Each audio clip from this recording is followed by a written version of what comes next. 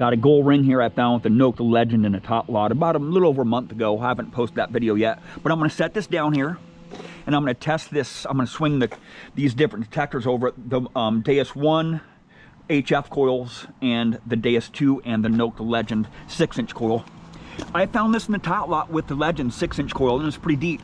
Right. It's an iffy tone. I've gotten a lot of gold rings. I've gotten a lot of gold rings with this setup right here, right? In top lots, not not in, most of them have been in the ground, in, in the dirt. But I haven't had any gold rings with the Deus 2 yet.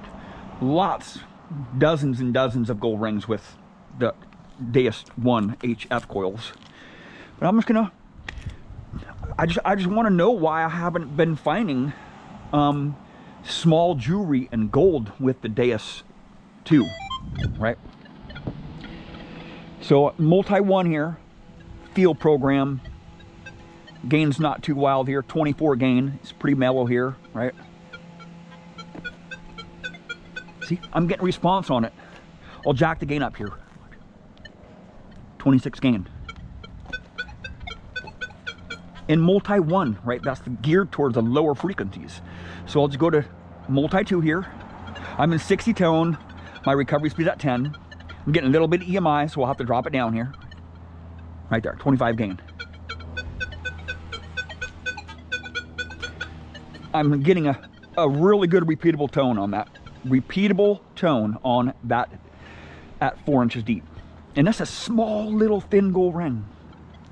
Now I'll go to multi three.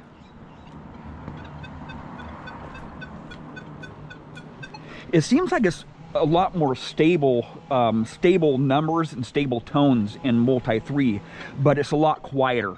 So, but when you when you get it over soil, that's all. That's what counts, right?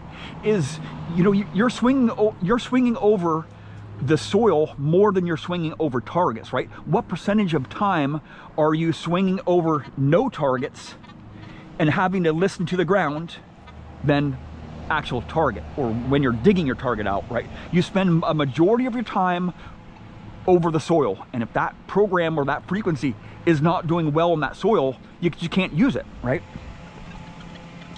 And it just targets sound really deep in this program here. Really faint. Um, even coins, even coins, right? So I'll change my frequency to four kilohertz. It's a small target there. Not even touching it. Not even touching it because it's a lower frequency, right?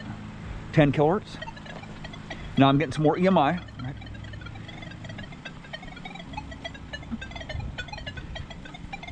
Just too low of frequencies, right? Just too small of a target, too low of a conductor. 15 kilohertz. All that EMI, 15 kilohertz, not gonna do it. Right? 20 kilohertz. Now it's starting to come through really strong. 20 kilohertz, 40 kilohertz.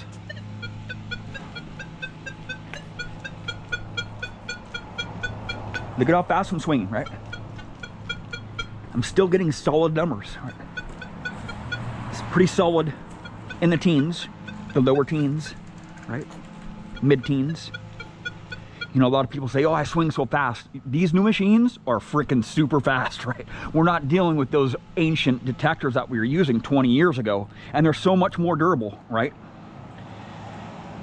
So, way more durable than the machines that we were using in the past. So I'll try the Deus 1.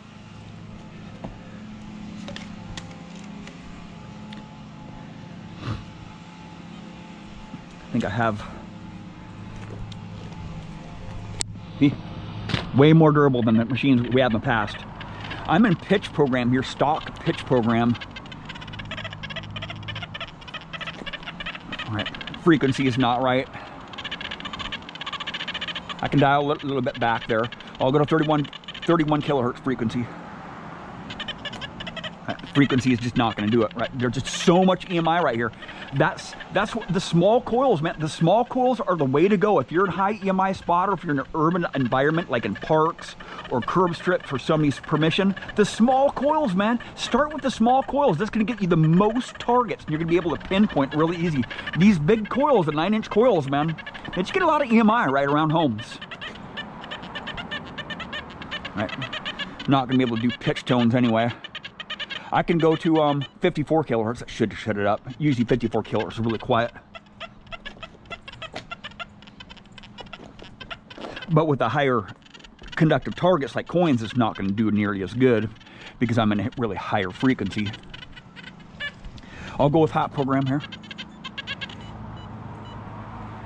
I was in pitch program there. Let's go in stock hot program here. 14 kilohertz. Right. Go to different frequency here.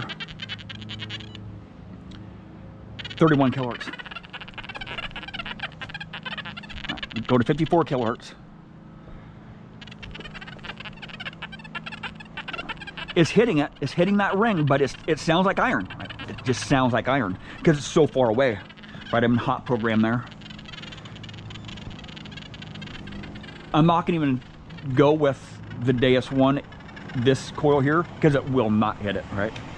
Just just from what this, how this coil's performing, this coil will not do it. Actually, I'll do it. I'll put it in 74 kilohertz frequency. Just show you guys, if you guys really want to see it, not hit it.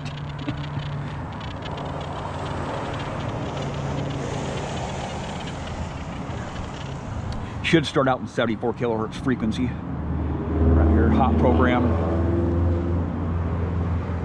Take a second for it to engage here. Here we go. 74 kilohertz. Sounds very irony, right? It won't hit it in the lower frequencies, right? 31 kilohertz. Go at 14.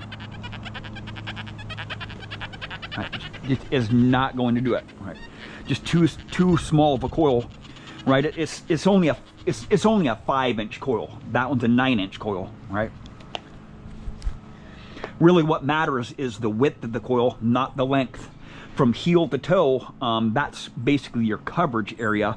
It's The narrow coils don't do really good for depth, but they do cover a lot more area um, than a, a six inch coil. You know, This coil covers a lot more ground than that, that coil, but that coil's deeper, right? That coil's deeper.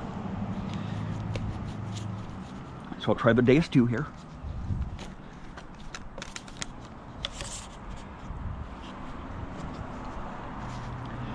Gold is where you find it, right?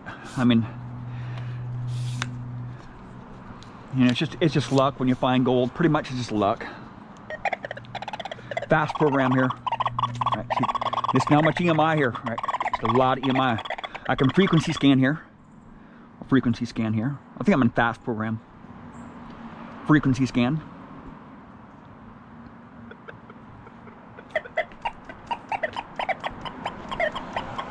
Smashing it out, right? Just with a frequency scan. Right?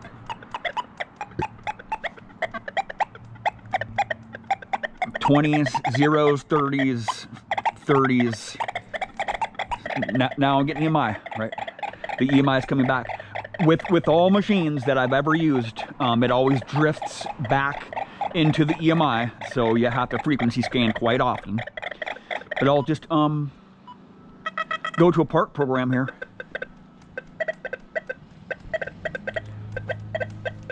This is the park program, stock park program. I'll get right up next to this ring here.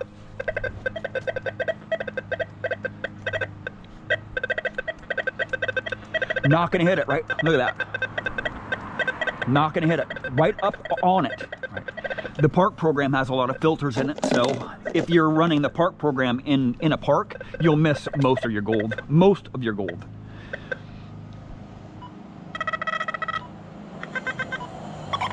So I'll go to Deus Mono program here.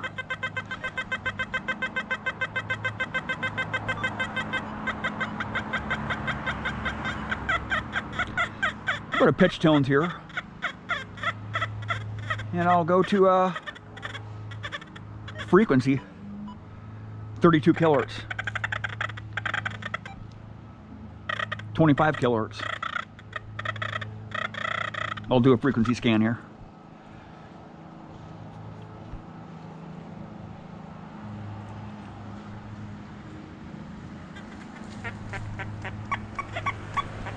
Right, see, reading up like iron.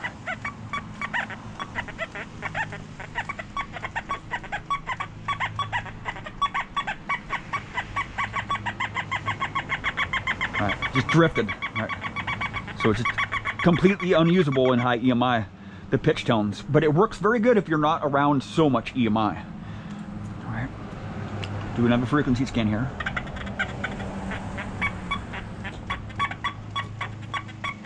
Now watch, it'll eventually drift back into the EMI. Give it, give it a second here. Right. All machines do the same thing. They just end up drifting back into the EMI. See, starting to come back here. I could go um, to a different frequency here. 40 kilohertz.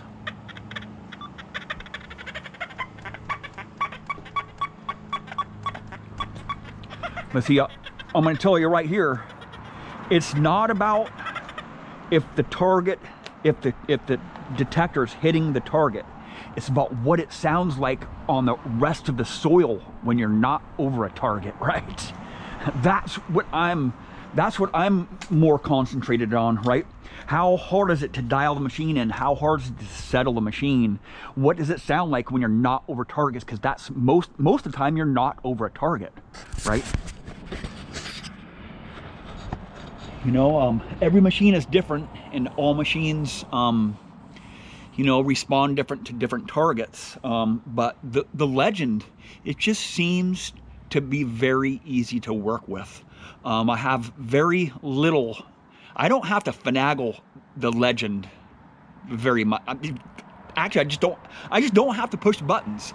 Um, what I like about the legend is I can change frequencies within that program, and I can get away from that EMI if I'm getting some EMI. I can just one one push of a button, one push of a button. With the other machines like the Deus One, um, I have to do some a frequency shift or whatnot, or just just change frequencies. I can do that within that program. But the Deus Two, I cannot do that. I cannot change frequencies if I'm getting some EMI that I can't get away from because I do not want to drop my gain down. That's that's the last thing I want to do is to drop my gain down. The, that's the last setting that I will adjust to get away from EMI. Um, there are so many more different things you can do on the Deus, um, the Deus one, the Deus two, to get away from EMI, like drop your auto response down, lift your threshold up, change the tones. Um, but you can't change the frequencies with a, just a push of button. And that that uh, frequency scan doesn't really change your frequency. It's not going to change your frequencies. It's going to offset your frequencies just by a little teeny bit. But once you walk 10 feet closer to that EMI, that EMI is going to drift back into your into your program there or into your audio signals. So, you know, um, with the legend, it's just so much easier just to push a button, just push that frequency button and cycle through the frequencies and choose which ones doesn't have a lot of EMI. But I really don't get a lot of EMI with um, the Legend. I run the Legend a lot in single frequencies, and um, I've, I've shown you that several in several videos. You know, the multi-frequency you get so much EMI in multi-frequency that you have to drop your gain down. And when you drop your gain down, you are less sensitive to those smaller targets like small coins. Um, and in single frequency, you can jack a, a, single frequency up. Hear me out on this. You can jack a single frequency up and do very, very well and have no, little to no EMI. And, you know, the single frequencies are, it's really outperforming in general. Um, maybe not in the iron, in the dense iron, uh, the multi frequency is doing a lot better. But if I'm around gym or if I'm in high EMI and normally in like in parks and whatnot, I, I prefer the single frequencies anyway because I can jack my gain up a lot more and I can hear those deeper targets. Um, and you know, when you're a multi-frequency, you can't have your gain jacked up. So, you have to drop your gain way down. And what what purpose is multi-frequency doing if you have to drop your gain way down because there's just too much EMI. Maybe if you're out, out in a field or pasture or something, you don't have to deal with EMI, but look, look at all these power lines, right? These power lines are everywhere. You know, over in curb strips, in parks, um, at schools, in front of people's homes. You got routers, you got transformers, you got uh, modems. So I'm really liking both machines. Both these, the Legend and the Deus 2 are performing very well. But, you know, the gold ring is a white whale of mine. Still on my bucket list for the Deus 2 is a gold ring. I have almost a thousand hours on the Deus 2 and no gold yet, but I'm patient. I'll just keep on working on it. Well, thank you for watching.